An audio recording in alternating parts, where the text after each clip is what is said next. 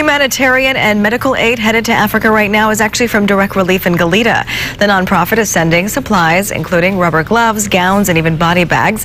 All of it will be sent via truck to a chartered cargo plane. The flight should arrive in West Africa by Tuesday of next week. Direct Relief is mobilizing resources directly from manufacturing companies to fight the Ebola outbreak in West Africa.